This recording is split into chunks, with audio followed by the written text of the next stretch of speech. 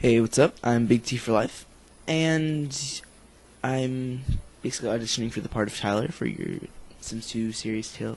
I'm so used to mine, sorry. For your Sims 2 series Twilight. There we go. Um, big fan of the book, and a big fan of your series. You're an amazing director. And yeah, this is my voice, and I can change it. I can make it higher, or lower. I don't really have any differences. Well, there's differences, but you get the idea.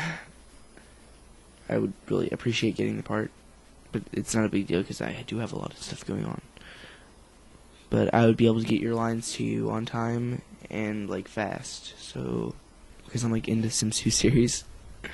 So yeah, if you pick me, I will get your parts to you. And if you're rumbling in the background, that's my air conditioner and that will not be going whenever I record the lines. So, and I have a clear dialect, and I can you can understand what I'm saying when I say it.